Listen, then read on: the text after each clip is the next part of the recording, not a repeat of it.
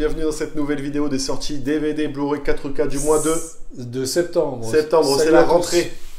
Comment tu vas, Tom? Bah, je vais super bien, hein, comme euh, les mois de septembre, c'est génial, on rentre et tout, c'est tout. Mais c'est- les, les gens recommencent le travail, les Exactement. petits vont à l'école Ouais. et euh, les chats sont bien gardés. Ou à la crèche, voilà, exactement. Euh, comme d'habitude, hein, on, va, on va défiler un petit peu tout ce qui sort, on va parcourir, on va pas présenter tous les films qui sortent, évidemment, Non, on va faire un choix, un sélectif. Alors, faut rappeler peut-être que ça reste subjectif, parce qu'à chaque Oui. fois quand je regarde les commentaires, on dit mais pourquoi vous n'avez pas parlé de ça? Oui, il y a trop quatre personnes qui comprennent pas que c'est subjectif. c'est c'est subjectif euh, le but de l'émission, c'est-à-dire que c'est des trucs qui nous intéressent, forcément ça peut pas forcément intéresser tout le monde. Tu sais quoi, j'en profite pour faire une toute petite parenthèse, Ouais. moi, perso.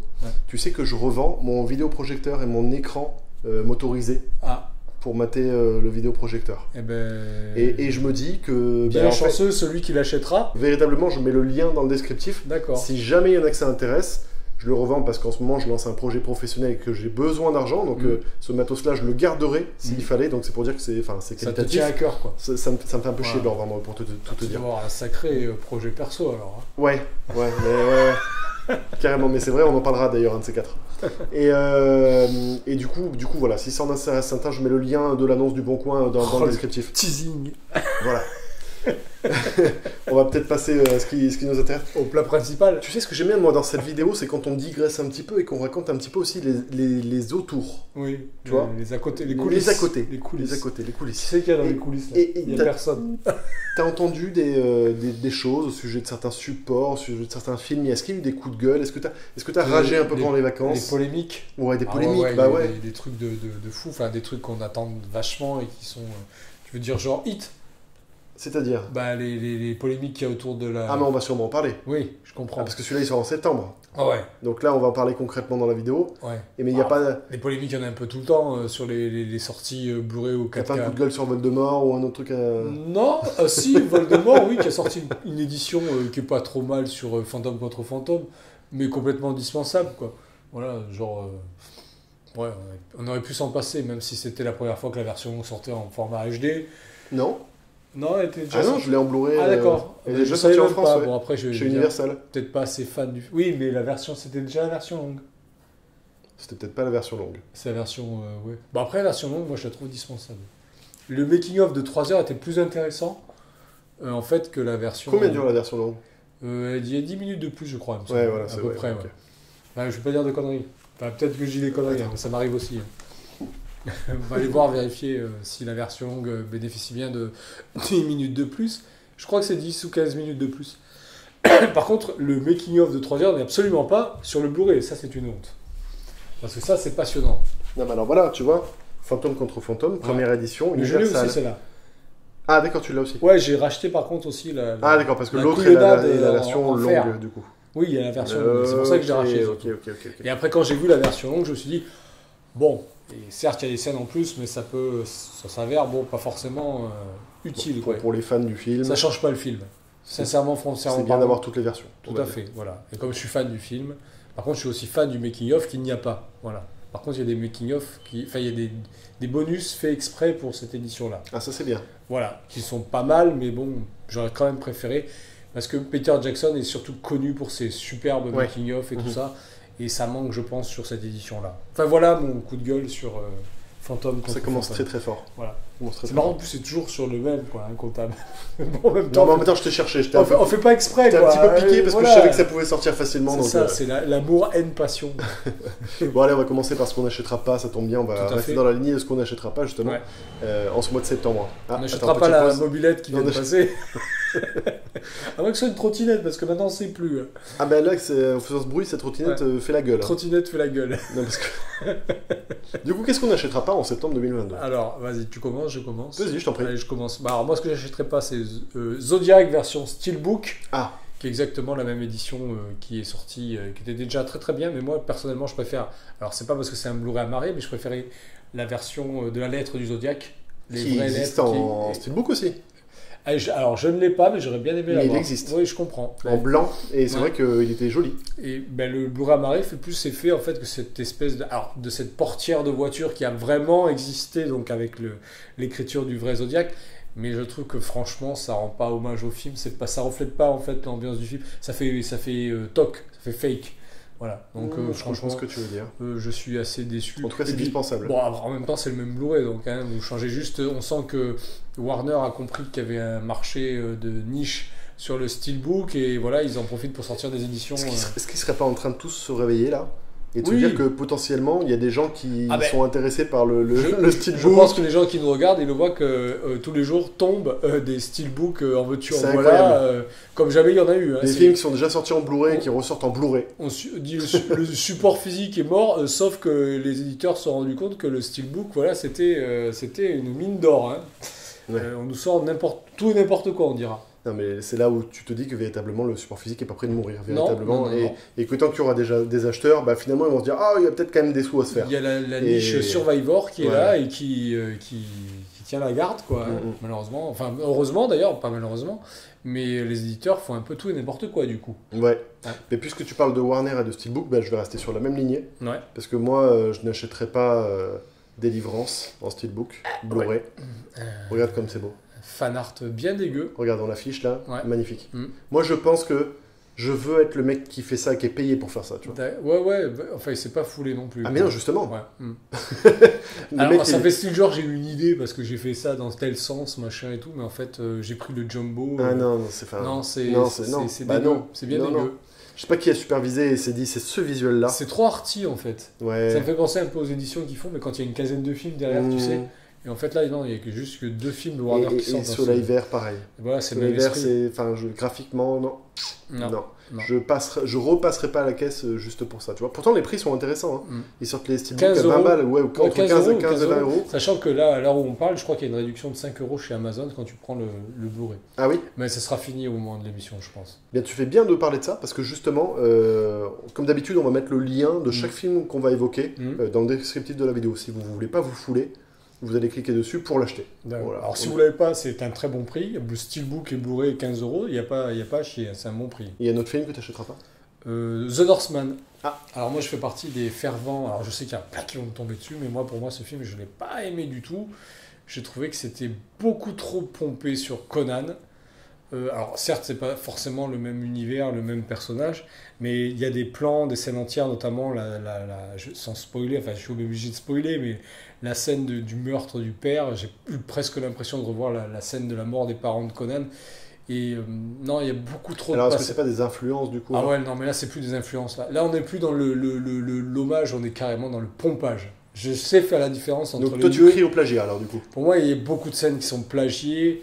Et puis, euh, je trouve que c'est- ennuyeux. Voilà. Il n'y a pas le, le- le côté épique qu'on nous a vendu. Il y a, il y a même des effets spéciaux très mauvais. Je Mm. trouve des, des- des- des- notamment la, la- la scène d'introduction quand on voit les navires qui arrivent. Oh, mon Dieu, les, effets, les VFX, c'est une catastrophe et je trouve que ça tient pas sur la durée.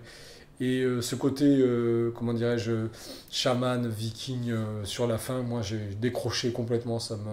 Bon, après, c'est un avis personnel, je peux comprendre qu'on soit Ouais, complètement moi, moi, j'ai- beaucoup aimé. hein, dans ce manière. euh, Après, après j'ai mis des réserves aussi sur le côté un peu peut-être grandiloquent ou théâtral de certaines scènes qui est un peu exagéré, un peu Bah, forcé, je dirais. J'attendais le côté épique que je ne retrouve Ah, pas. quand même, du tout dans le film. quand même, plus, plus le film avance, Ah bah- plus c'est épique, hein, je trouve. Après, peut-être que l'épique est, est, est- est- comment dirais-je, spécial, enfin, c'est une façon de voir par personne, tu vois, c'est c'est un Ouais. du cas par cas. Ouais. Et moi, j'ai pas été touché du tout. Ça dépend. Et- Est-ce que, est-ce que Nope est épique pour toi? Je l'ai pas vu, Nope. Ah, ok. Non. Pour, moi- ça ne l'est pas. Non.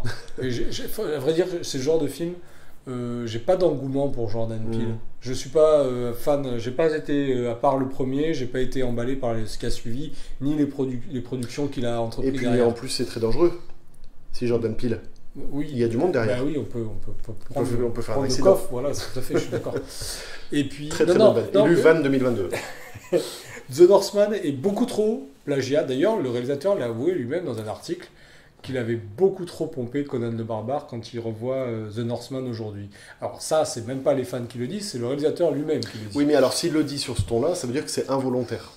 Ah, mais il l'a dit parce qu'il a trouvé que c'était qu'il avait fait, il avait fait trop trop d'hommages et trop de références à Conan. Oui, mais c'était peut-être involontaire.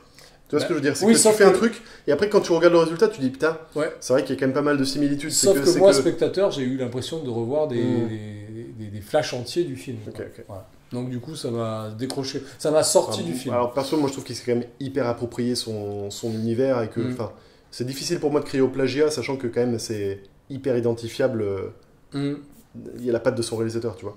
Ah, ça, je, je le nie pas. Donc je, c'est- je sais pas, ouais, mais ben, disons que son style me touche pas.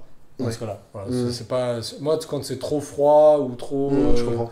C'est toute cette vague de films un peu arty euh, qui reprend un peu des, des thèmes de genre me, me touche pas. Je préfère en fait les, les films euh, sur lesquels il s'inspire. euh, voilà, bon, bref, c'est c'est personnel.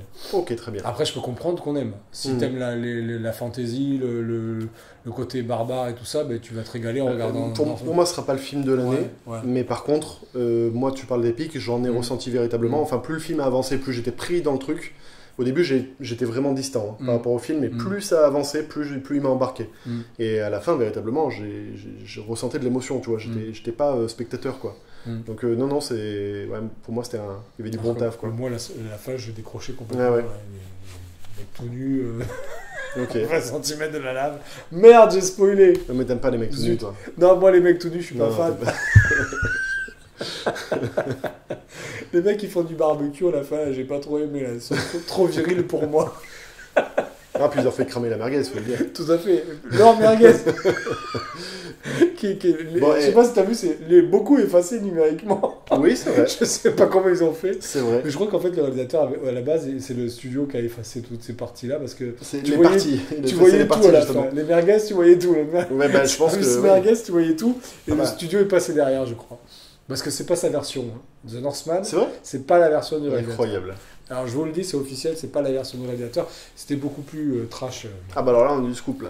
voilà. Toi, t'es venu, tu t'es dit, je vais. Je vais Ah ben balancer- je vais balancer moi les barbecues, la virilité, les merguez, tout. Service total, euh, voilà. Bon, allez, tu sais quoi, on va arrêter d'être un peu râleur, là. On va passer, on va passer aux Mais non, ce serait pas drôle.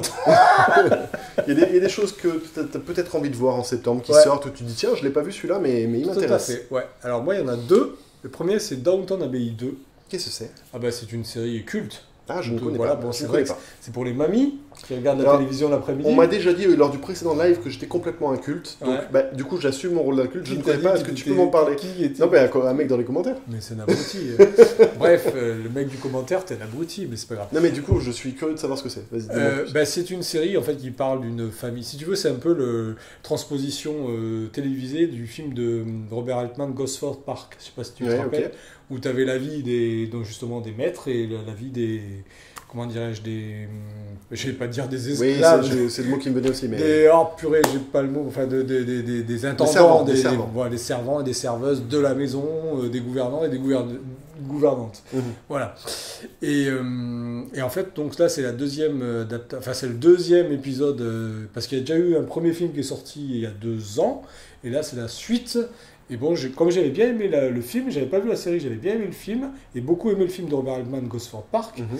Et j'ai très curieux de voir la suite. Surtout qu'apparemment, il ferme un cycle, sans spoiler, je ne vais pas en dire plus, ça ferme un cycle sur la série. Voilà. Et, ça, et c'est devenu une série culte. D'accord. Ma meuf a acheté le coffret, machin, il existe en Blu-ray, il y a même en 4K, donc Ah, c'est un truc qui plaît aux gonzesses, en fait. ça ça plaît vachement bah, aux gonzesses, et- enfin, aux dames, aux damoiselles. C'est pour susciter les commentaires. D'accord. Tu sais bien. Donc voilà. Mais bon, moi, ça me- ça m'intéresse vachement. Et je te donne ma deuxième curiosité où on fait. Non, on va faire un chacun. Ouais, quoi chacun, vas-y. Ben moi, je suis curieux du film, euh, de découvrir le film euh, Exorcism of God, qui, sort, qui sort pardon, chez M6. Of God Oui, c'est bien ça. of God. Exorcism of God. Alors, est-ce qu'ils utilisent des, des sextoys pour faire évacuer un démon? Ça va savoir. Je ne sais pas, mais du coup, je suis encore plus curieux là. Oui, je peux comprendre. Non, non, parce que j'adore les films d'exorcisme Mhm. et que celui-là a été présenté dans des festivals, donc je me dis que potentiellement il a peut-être quelques petits trucs euh, intéressants. Et tout ça, j'ai pas plus d'arguments. hein. Ouais. J'ai vu la jaquette, Mhm. le sujet du film, je me Mhm. suis dit, tiens, je suis curieux de le voir. C'est comme les films de requins en fait. Exorcisme. Exactement, c'est pareil. C'est pareil. Les films de requins, les films d'exorcisme, c'est pour moi, je les mate. D'accord. Voilà. Et- je suis souvent déçu. C'est ce que j'allais dire. souvent déçu. C'est bon, bref. Bah. Vas-y, à toi. Eh ben, euh, j'en ai pas entendu parler. C'est avec un acteur connu ou pas? C'est ça, là, distribution principale. Avec Joseph Marcel, Non. inconnu au bataillon. Non, Maria. Bon, le casting est pour Ave. Ouais. Bon, après, ça veut rien dire. Euh, ça peut vouloir dire. Ça aide pas forcément. Ça, ça peut vouloir dire. Ça peut, ça peut être problématique. Ok, bon, écoute, 5,3 sur 10. Bon, je, je suis, je suis moyen curieux, mais je suis curieux quand même. Mm. T'as une autre curiosité? Alors moi oui, il y a le film Un cri dans la nuit. Oui. Avec euh, Tu en as déjà parlé, je crois, Mais non, non, pas du tout. C'est pas toi, c'est Franck alors. Peut-être, ouais, c'est avec Meryl Streep et Sam Neill. C'est une histoire vraie. C'est euh, un couple qui est allé camper euh, alors, près de la fameuse montagne qu'on voit dans le film euh, Wolf Creek. La dune du Pilat. Non, bah, c'est un peu leur dune du Pila, eux, en Australie. Et en fait, ils ont campé auprès de cette montagne et leur enfant de 9 mois a été enlevé. Et c'est une, une histoire qui avait fait un bruit pas possible en Australie à l'époque où ça s'est passé. Parce que ça fait un tapage un peu. C'est un peu leur affaire Grégo- Grégory à eux. Mmh, Et bon, je serais curieux de voir le film. Voilà, parce que bon, il y a des bons acteurs, Meryl Streep, Sam mmh. Neill. Carrément. Et j'adore, tu connais mon, mon affect pour les histoires vraies et, et les crimes euh, Oui, tout à fait. bizarroïdes. Je suis un peu euh, Ouais, toi t'es un mec. euh, ma boule. J'adore ça. T'es un enquêteur, toi. Ouais. Et ma deuxième curiosité perso, ce sera le film Vortex Oui, de, Gaspard Noé. Gaspard J'en ai déjà parlé dans une précédente vidéo. Je suis toujours très curieux de le voir, mais là, ça y est, il Mm. sort en septembre. Donc écoute, euh, je pense le découvrir. Alors je crois que c'est Whiteside qui, euh, qui l'édite, si je dis Mm. pas de conneries. Euh, C'est un 4 tiers. C'est un format 4 tiers en plus, le film. Il, est il, est, il est- il est fidèle au- à sa projection cinéma. D'accord. Donc euh, ma foi, c'est. Ouais, moi je suis. je suis curieux. On en reparlera bientôt. C'est du Gaspard Noé, quoi. Ouais. Après, c'est un coup sûr de Gaspard Noé. Tu trouves? Bah, le dernier, j'étais, c'est Lux Eterna. Ah, je l'ai pas vu. Bon, j'ai pas aimé du tout. Je l'ai vu à Cannes. En, D'accord. en plus, en séance à minuit. Donc, euh, Ouais. ça, c'est trop beau. euh, voilà, j'ai pas été fan, fan, fan. Il y a des bonnes choses au début avec euh, Béatrice Dalle et Charlotte Gainsbourg. Mais ça tient pas sur la distance, en fait. Mhm. Même si ça dure que 45 minutes, voilà, c'est vraiment. Sur la fin, c'est vraiment perché, quoi. Mm. C'est presque du. Je dirais, c'est du, cinéaste, du cinéma euh, expérimental, Mm. pour moi. Voilà. Ok. T'as une deuxième euh, curiosité? Non, j'ai sorti mes deux curiosités du mois. Voilà. C'est bien, Donc, tu euh, l'as dans la chapeau et, et- Downton Abbey 2, une nouvelle ère. Du coup, sans plus attendre, Hum, passons au coup de cœur. DVD Blu-ray Mhm. de ce mois de septembre 2022. Là, là, je suis très intéressé par ton choix. Alors, moi j'en ai deux, encore Oui. une fois. J'ai le film de Blown Away Oui, avec Jeff Bridge et Jeff Tommy Lee Bridges. Jones, voilà, qui est un film sur, Jones. sur le terrorisme. Et là, cette fois-ci, on va plutôt euh, pencher vers l'univers de l'IRA, Mhm. il me semble. Et puis j'aime bien, c'est une histoire de vengeance et tout ça entre les deux. Il ira ou J'ai- il ira pas, ça Ouais. on sait pas encore. Hein. Spoil pas le film non plus. Il y a aussi euh, Forrest Whitaker. Ah oui, je Voilà. vois très bien qui c'est. Donc, euh, excellent film d'ailleurs, où il y a, euh, ce qui a dû coûter cher en termes de royalty musique, parce que je crois qu'il y a beaucoup de morceaux de YouTube dans le film. Et je crois que YouTube, c'est un des groupes où c'est le plus cher quand tu veux les utiliser dans un film. C'est super. euh, Ah ouais ouais, Et il y a pas mal de morceaux qui passent dans le film. Mais le film est un film des années 90, mais qui tenait déjà la route. Alors, c'est aussi un film où euh, Jeff Bridges joue avec son papa. Est-ce que tu crois que YouTube, ils ont demandé de la thune pour la chanson Toutou YouTube Euh, je, euh, tu veux dire des, des, d'aérobic, là? Ouais. sous la douche? Ouais. Je sais pas, peut-être, c'est possible. C'était une vraie question. ouais. Qui méritait une Ah pertinence. bah, je, je pense que ça méritait une parenthèse. pertinence folle. Ah tout, bah. tout, tout, du tout. Oui, tu je t'ai coupé du coup. Euh, Et donc voilà, Blood Away c'était la première fois qu'il sort en format euh, HD. Et c'est un très bon film. Voilà. Enfin, c'est- c'est un bon film. Ouais. C'était la ponctuation là, de ton, C'était de c'était ton un- intervention. Exactement.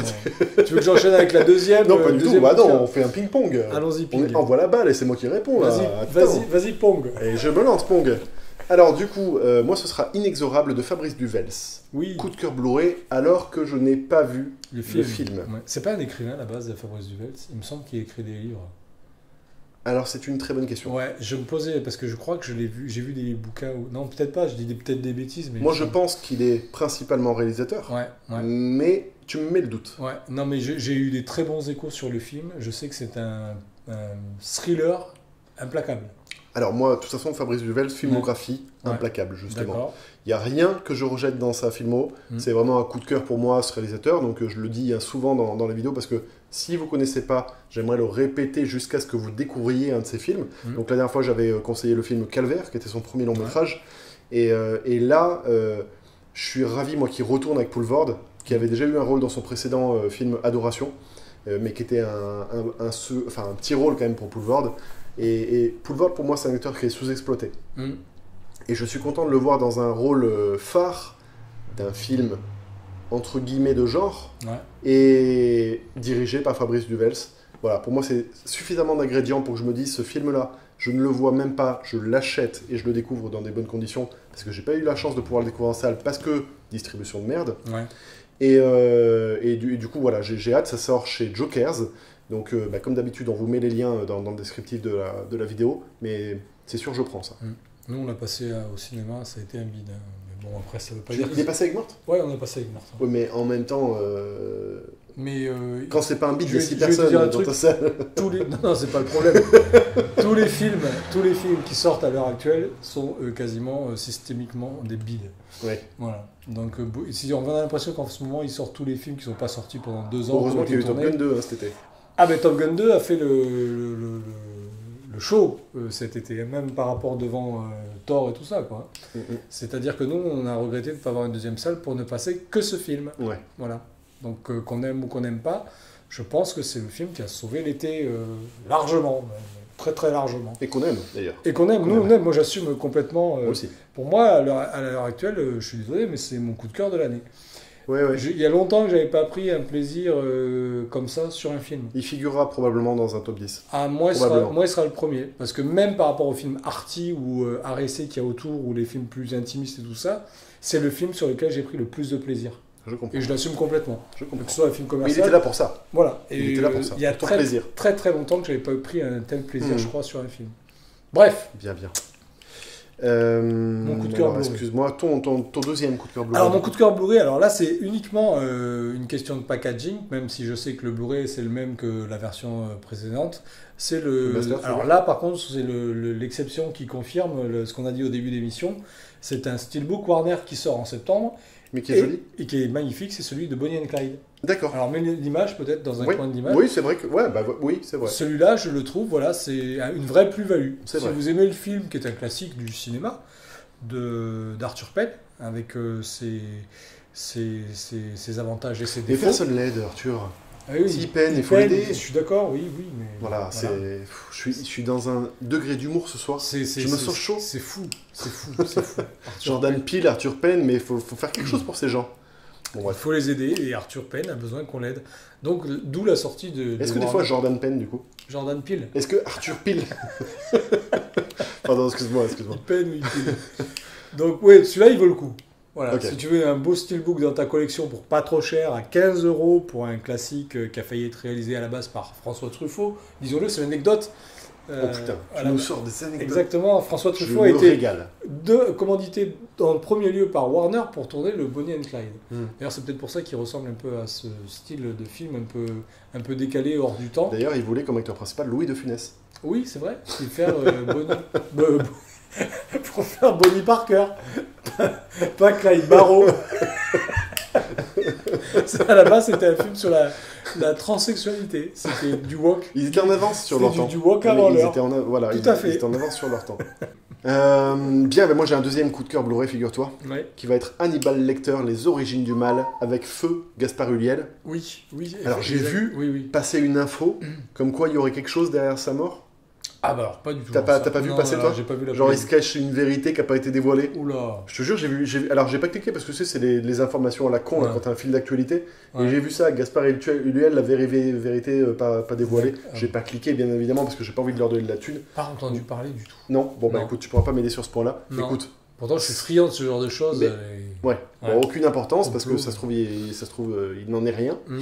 Euh, donc euh, j'utiliserai donc le conditionnel, Un comme on dit dans ce cas-là. On va pas pro- promouvoir ce genre de. Mais en tout cas, euh, je suis content que ce film figure en Blu-ray pour la première fois. Hum. parce qu'il était en DVD jusqu'à aujourd'hui, euh, et que voilà, j'ai envie de, de, de me faire ma petite phase Gaspard Ulliel, parce que malgré tout, qu'on le Mm. veuille ou pas, c'était un putain d'acteur. Ouais, non, mais je suis d'accord. Et, et- et il va être vite oublié, malheureusement, je crois. Et Non, un parce que moi j'ai toujours en souvenir. Alors, moi, c'est pas, ce sera pas Hannibal, c'était Jacou le Croquant. Mhm. Avec euh, Feu aussi. euh, euh, Jocelyn Quivrin, qui pour moi c'était deux acteurs qui étaient de fou quoi. Et on a une perte là en termes de, de- Tu vois, on dit toujours qu'il n'y a pas de stars en France. Moi je pense que ces deux-là, c'était deux stars en devenir euh, euh, Oh, très très devenir, clairement. euh, quoi. ouais, il- Enfin, plus Jocelyn déjà- je pense, parce que Jocelyn Quivrin avait vraiment un charisme très particulier. Ah, Gaspard aussi, putain. Oui, mais il a, disons qu'il mettait peut-être plus son temps, ou alors peut-être. Non, c'est peut-être les choix de- les de choix qui n'étaient pas forcément. Ouais, voilà. pas des films majeurs Ouais. ou. Ou alors peut-être Mais- fait des mauvais choix aussi dans sa carrière. Maintenant, c'était un très très bon comédien. Ah ouais, c'est indiscutable. Mm. Et puis quel charisme, et puis quelle gueule, non, et quel. je- je non, enfin voilà. Et du coup, je vois, le le voir dans ce rôle-là, moi, ça me, ça me plaît. Tu vois, Mm. ça me, ça me... Donc voilà, haute définition. euh, je sais plus qui édite. Euh, Studio Canal. Donc, euh, à voir ce que ça donne. Voilà. Et est-ce que le film est bon? Eh bien, écoute, il faut que je le revoie. Moi, je l'ai vu il y a très longtemps. Ouais. Je l'ai vu Moi, l'ai vu fois. au cinéma une fois aussi, j'ai pas un mauvais souvenir, j'ai pas non plus Donc, euh, donc justement, c'est l'occasion de le redécouvrir. Tu sais Ouais. quoi, en HD. euh, c'est- pour moi, il paraissait à l'époque dispensable par rapport à la- toute la... tous les films des Agneaux. C'est- C'était un préquel du d'Hannibal, euh, euh, Était-il plus dispensable que. le troisième euh, Dragon Rouge? Ouais, Ouais. Oui, Dragon Rouge était dispensable. voilà. Lui, était dispensable. Surtout par rapport à- en passant derrière Michael Mann. mais- Ah là là. quel chef-d'œuvre, ce film. Bon, après, il, il apportait aussi des éléments, faut pas non plus mentir, qu'il n'y avait pas dans la version de Michael Mann, mais qu'il y avait dans le roman. Certes, Ouais, mais le ça n'en faisait Michael pas un meilleur film. est C'est une d'accord. tuerie. Ouais. On est d'accord. Ouais. Bon voilà, c'est tout, je, me- je, je m'égare. bon bah écoute, tremblez. Hmm. Euh, Coup de cœur 4K. Arrêtez tout. Ouais. Coupez euh, la radio, la télé. Ouais, euh, ouais. Dites euh, ferme-la à votre conjointe ou conjoint. Le, le grand moment est arrivé, Le le, grand grand, moment d'émission, Le le, coup de cœur 4K. le coup de cœur 4K. Alors la Terre s'arrête de tourner pendant quelques instants. J'aimerais savoir, Tom, quel est ton coup de cœur 4K Ah, mais moi, j'aimerais surtout savoir quel est ton coup de cœur 4K. Parce que tu vois que j'ai rien écrit. moi, tu vois quel est mon coup de cœur 4K. Mais moi, je vois pas quel est ton coup de cœur 4K. Mais j'ai- eu du mal, Et figure-toi. ça, c'est un vrai problème. J'ai eu du mal à trouver un coup de Comment cœur 4K. veux-tu que je rivalise avec ton coup de cœur 4K si je ne vois pas Eh bien moi, il, est- il n'existe pas. Non, il existe- je vais en trouver un. Non, tu, ah, tu le sais pas encore. Non. Non, D'accord. Là, où tu- au moment où tu me le demandes, je n'ai pas de coup de cœur 4K. Foutage de gueule cette émission. Pas du tout, pas du tout. J'ai travaillé pendant des heures. Par contre, laisse-moi douter un peu de, de, de me remettre en question, Tout à fait. remettre Donc, mes choix en met- Je perspective. comprends ce que tu dis. Voilà, c'est important, tu vois. une autre transversa- transversalité sur les choses. transversalité. T'es en train de manger une pomme de terre Pas maintenant. du tout. Alors, coup de cœur 4K, le mien, ce sera. euh, alors, ce sera Argo. J'aime beaucoup ce film, Argo de Ben Affleck. Je trouve Oui. que c'est un très bon réalisateur. Le steelbook est pas dégueu. Je trouve qu'il a, il fait sens. Ah, il est un peu vulgaire par contre. hein. Qui? Argo. Argo? Oui, mais c'est- ma foi, c'est du. Ok. Et euh, non, non, j'aime beaucoup. Non, non, je trouve que le, le- le visuel est pas dégueu, le film est pas très cher, le film est bon. Euh, moi, j'adore les histoires vraies, vous le savez, donc euh, Argo, c'est une histoire vraie. Et en plus, ça parle de cinéma. Ça mélange fait divers et cinéma. J'adore ce film. Voilà, je trouve qu'il est bien et un peu passé. à- Est-ce que du coup c'est édité par ESC Parce que Hmm. ça fait escargot du coup. Pas faux. je Mais suis celle-là, désolé. celle-là était bonne. Non mais non, Celle-là était escargot. ne m'encourage pas dans ma chute, s'il te Non, plaît. non, non, mais la chute est bonne. Franchement, la, la chute est très bonne. Vous pouvez le mettre dans Ah, les commentaires. Moi, j'ai beaucoup aimé. Vous avez aimé escargot Escargot. C'est vrai que s'il l'avait. T'aimes les escargots toi? Moi, j'adore. je Ouais, moi aussi, j'adore. escargots. la b- façon de euh, maître d'hôtel, on dit. Oh non, c'est une tuerie. Moi je me dis il devrait réfléchir à gaver les escargots. Hmm. Pour faire du, du foie, de- foie gras d'escargot, tu sais. Et au moins, c'est- au moins, tu manges un truc qui est pas forcément viril, là, les escargots, parce que c'est à tendance plutôt. euh, Pourquoi tu dis ça? Je sais pas. Tu dis ça? J'en sais rien, parce qu'en ce ça? moment, les... on fait beaucoup. Ben, à cause des barbecues. Oui. Ben, si tu manges des- du filet de barbecue, Oui. c'est un signe de virilité chez l'homme maintenant. C'est- Oui. Voilà. Ben, les escargots, c'est pas vraiment viril.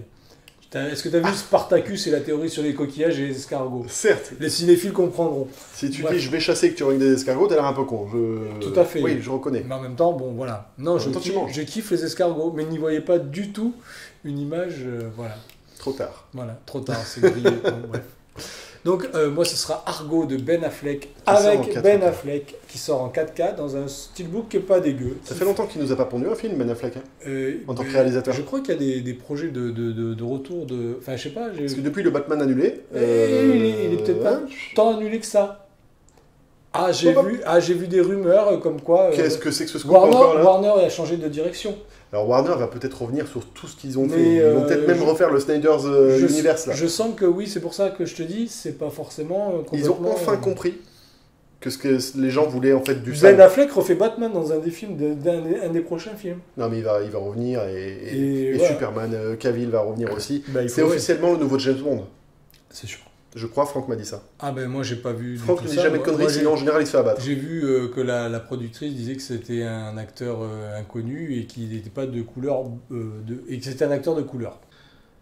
Il n'y Enfin. aucune allusion. Ah, il m'a dit de la merde, Franck, Franck, t'abuses. C'est pas, c'est pas définitif. C'est pas définitif. C'est pas définitif. Je suis très curieux de savoir quel est ton 4K. Je vais réfléchir un tout petit peu encore. non, non, je vais, te, je vais te le dire. Alors, ne, vous, non, ne soyez pas... soyez indulgents, s'il vous plaît. Je sais déjà que les gens vont, vont réagir. Je sais qu'ils vont se moquer. Je sais que toi, tu vas faire... Voilà, tu Ah. vas hausser les yeux au ciel. Ouais. Euh, Indiana Jones et le crâne de cristal. Voilà. Je l'ai dit, je l'ai balancé sur la place publique. Ah, Maintenant, dit que je me barre. Maintenant, t'assumes les commentaires. Pourquoi Ouais. C'est mon coup de cœur.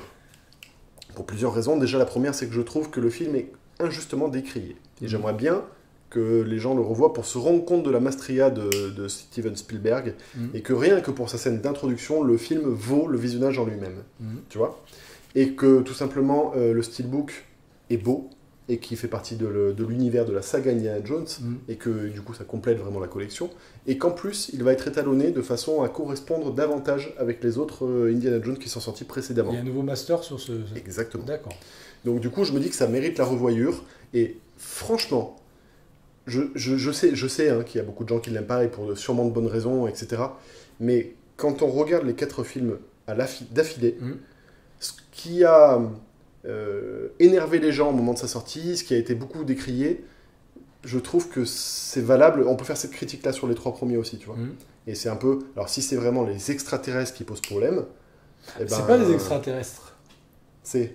Des êtres dans un univers parallèle. Mais qu'est- qu'est-ce qui pose vraiment problème dans ce film-là pour toi?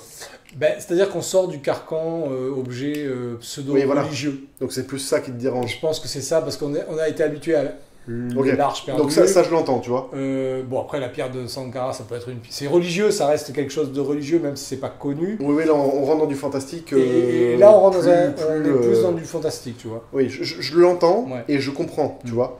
Mais Enfin, c'est pas du pour autant pas du que. C'est du. Serait plus proche du multiverse, en fait. euh, Oui, je vois ce que tu veux dire. C'est même pas du, du religieux, c'est du multiverse. Ah, parce après, tu sais, c'est une quatrième dimension. C'est pas des extraterrestres en tout Ça cas. peut être du religieux aussi. Il y a non, des ça religions. ressemble à des, à des extraterrestres. Non, mais il y a des religions qui croient aux extraterrestres. Oui, je suis d'accord, euh, des- Enfin, bon, Ouais. on peut- enfin, bon, bref. Ouais. Mais, mais ne serait-ce que dans ses actions, dans sa façon de filmer, moi je repense à la bagarre avec Shia LaBeouf et tout, il y a des moments qui sont absolument excellents dans Ah. ce film-là. Le- le- le- le- les deux choses qui pêchent, c'est ce que tu viens de signaler. Je pense, moi, je parle en termes du film parce que c'est pas. Enfin, voilà, il y a des choses que j'aime beaucoup dans le film, mais le passage des singes avec les lianes, m'a sorti carrément du film parce que je pense que c'était cheap. euh, c'était il y, a des, il y a des choses bien quand tu vois la, la bombe nucléaire avec le crâne qui se forme, il y a des choses intéressantes. Tu, tu retrouves toujours la patte Spielberg, notamment dans le rythme. La scène d'intro est excellente. Moi, c'est ce que je préfère en fait dans, cette, dans cet épisode-là, Mm. c'est l'intro. Parce que bon, tu, tu reconnais Non, là, la, maestria. Euh, le fait, euh, le, le- le coup avec le, le train euh, qui sort de, de, la, de la base nucléaire et tout ça. Même le coup du frigo, je trouve que ça passe. Parce que ça, ça reste Et dans oui. l'esprit des, des premiers. Mais c'est ça que je veux te dire, moi. C'est que chaque, chaque scène. Enfin, je trouve que les gens on l'ont regardé avec leur Mhm. Regard de 2000, euh, quand il est sorti, là, je sais plus, euh, 2016 ou je sais, Ouais. je sais pas quand il est sorti. Mais que si tu le prends, en fait, il l'a fait dans la continuité des autres. Mhm. C'est-à-dire que c'est vraiment, les actions sont euh, rocambolesques. Alors, je dirais qu'il y a peut-être plus de CGI qui ont. euh, et Peut-être, ça, c'est ouais. décevant. Parce que tout le passage avec les singes, c'est trop CGI. euh, et euh, il n'y avait pas ça dans les trois premiers. je Oui, oui, enfin, il n'y avait oui. pas ça. Parce que même dans la dernière croisade, à la fin, c'est du, c'est, du décor réel. Et je pense que c'est ça qui est décevant. Mhm. Alors que pourtant, on revient à une espèce de, de décor réel la- sur la fin. Ouais, ouais, ok. Et il y a un gros passage en fait, qui est le, le chute quand il tombe de chute en chute. En tout a- cas, dans le ton, moi Ouais. je trouve que Spielberg Ah est resté le- fidèle Le ton, à, je- à la, je- à la c'est- saga c'est Indiana pas le ton Jones que je critique, et c'est qu'il que- a rien trahi. Alors après, le côté, ouais, euh, homme venu de au-delà, machin, Mm. bon, ok, si t'adhères pas, ça peut te décevoir, mais, Bah, disons que mais c'était je pas pense que ça forcément. mérite pas de mettre le Il aurait dû rester en fait sur les, les Incas, le monde aztèque ou les Incas, et ça, et ça suffisait amplement. Il n'y avait pas besoin d'aller plus euh, Mais sur. en même temps, il vient piocher, piocher dans son propre cinéma en faisant ça. Mais euh, Spielberg n'était pas d'accord. hein, était- Ah bon? Non, non, il était contre cette histoire et ce scénario. Lui, il voulait adapter le scénario de Frank Darabont. Tu m'apportes encore un scoop Indiana Jones, c'est la cité des dieux. C'était le, le- le scénario de Frank Darabont, paraît-il, qui était excellent. Je crois qu'il traîne sur Internet. Et euh, il paraît que c'est une tuerie. Moi, je veux pas euh, mettre ça. ma main à couper sur ce que je vais dire là, Mm. mais je serais pas surpris que le crâne de cristal soit potentiellement meilleur que celui qui va sortir, qui ne sera pas dirigé par Spielberg. Ah, Il y aura peut-être euh, plus d'éléments où tu vas te dire ah bah ouais c'est plus fidèle machin etc. Mais je suis désolé la réelle moi c'est euh, Spielberg il m'en met plein les yeux Mm. c'est ce que je veux voir quoi tu vois. Ah, James Mangold, c'est pas un plus. C'est pas un même. manchot. Ah, Non. Ah, donc je Non, dis- moi, je serais méfiant. Par Non mais tu peux pas comparer les deux par contre. Non, parce que Surtout pour ce genre de oui. film là tu vois c'est moi j'attends de voir. James Mangold, c'est plus du biopic, sa Ouais. spécialité, euh, Mm. que ce soit Walk the Line ou, euh, Mm. ou euh, Le Mans 66. Mais euh, je, je pense qu'on peut être surpris. Ah, mais moi j'attends que ça. Après, il y a des choses qui m'inquiètent aussi dans le. Je, je, je vois qu'il y a des, des histoires entre voyage dans le temps et tout ça. Je suis un peu inquiet quand Ah. je vois ça. Mais bon, pourquoi pas Après, ça, dé- ça dépend comment c'est Est-ce traité. qu'on sait pourquoi Spielberg a finalement décliné? Euh, je pense qu'il était plus du tout dans le, le, le mood Indiana Jones pour lui. Le quatrième. Il doit y avoir, une, il doit y avoir une raison parce qu'il était quand même prévu pour le 5. hein. Le quatrième, non, je crois que le quatrième l'a vacciné, je crois. Sincèrement. Ah ouais. Ouais. Euh, Ça, en plus, si c'est apparu, savez, c'est apparu très vite en fait qu'il a pas du tout voulu faire le, le dernier, hein, pratiquement. en dès moi je suis curieux. hein. S'il y en a qui nous regardent et qui savent pourquoi euh, Spielberg n'a pas, n'a pas fait ce À film. l'heure où on parle, John Williams est en train de finaliser la, la BO du film en tout Très cas. très bien. ça. Voilà. Très très bien. Ok. Ben écoute, on, on termine la vidéo sur, euh, sur cette petite Sur des anecdote, bonnes sur cette petite perspectives, des vivement bonnes juin perspectives. 2023 pour voir justement la, Mais tout à fait. la réponse. Je pense que là, on sera beaucoup par contre en Je salle. pense que ce qui serait intéressant, ce serait de ressortir ce moment de la vidéo Ouais, et savoir, en euh, introduction de, la, de la prochaine critique qui avait raison, Jones 5. voilà. euh, Ouais, ouais. Non, je suis d'accord. Bon, Allez. déjà, moi j'ai perdu les trois quarts des gens qui détestent euh, Indiana Jones 4 et qui Attends, disent- attends, les trois quarts plus un quart moins un. C'est-à-dire trois. Oui, c'est ça. En fait, je suis le seul. En fait, en fait, il y en a qu'un qui a aimé ce film, c'est Non moi. mais après par contre moi j'avoue que c'est- un plaisir coupable, c'est-à-dire que je revois le film Mais c'est pas euh, coupable du tout. assez souvent. Mais coupable dans le sens où je, même si quand je revois souvent Coupable en fait, de pas aimer, oui. coupable non non non pas, pas de pas aimer parce que je n'aime pas à chaque fois que je le vois je n'aime pas le film mais Ah par contre je suis toujours attiré par le film. Alors Moi, je- ça c'est bizarre parce que j'ai envie de, de- de- à chaque fois de me dire non mais le film il est pas mauvais je vais quand même lui redonner une chance savoir s'il y a quelque chose et à chaque fois j'ai ce sentiment de dire non mais en fait ça me À chaque fois, tu te dis, pas. non, mais c'est un objet qui va sortir, c'est pas, c'est pas, une, pas une tête en cristal. Non, mais tu vois, Il va me sortir ça un objet en or. avec des films, de dire j'avais envie d'aimer ce film, Si, et à chaque fois je le vois. Si, mais je vois pas pourquoi tu l'aimes pas en fait. Enfin, je... Bah après, non plus, je, je suis pas non plus à me dire ah je déteste ce film. Ouais, ouais. Je veux dire, il y a pire. Non, mais il y en a beaucoup qui. Bah, Franck, tu vois, par exemple, te dit, Ouais. pour moi, il n'existe pas dans la saga Indiana Jones, tu vois. C'est Bah, vraiment. tu peux te dire bon si les, les moyens, bah, c'est-à-dire que les trois premiers sont tellement excellents, mais Mm. vraiment, vraiment, vraiment Ouais, excellents que peut-être que après peut-être qu'il est sorti trop tard aussi ce film. Peut-être que nous on a tous ouais, décroché moi, je pense, oui. par rapport au mood d'Indiana Ah Jones. oui, je pense. Il serait peut-être sorti deux ans après euh, la dernière ouais. on l'a peut-être vu différemment. Il y a, peut-être ça aussi. Euh, puis il y a- a d'autres genres, d'autres styles, d'autres euh, d'autres courants qui sont arrivés entre, les, entre tous ces films-là. Hmm. Est-ce que c'est pas un peu tard? Et peut-être c'est peut-être ça qui va faire que celui de James Mangold va peut-être mieux passer, tu vois. Oui, c'est possible. C'est que lui va réactualiser les choses, Ouais, c'est et possible. mettre dans le plus dans le mood d'aujourd'hui. quoi. Ouais, moi, j'ai peur qu'il fasse trop ce que les gens ont envie de voir. Et... Bon, on verra, écoute. Écoute. Merci à tous de nous avoir suivis. On se retrouve, du coup, en octobre 2022. Pour les À très bientôt. d'octobre. Et en espérant que ça a bien enregistré. Oui, ça a bien enregistré, oui. Tout à fait, nous sommes euh, studieux. Exactement. Putain, on va devoir recommencer à cause de la mobilette. Ah putain de mobilette de merde. Je te jure.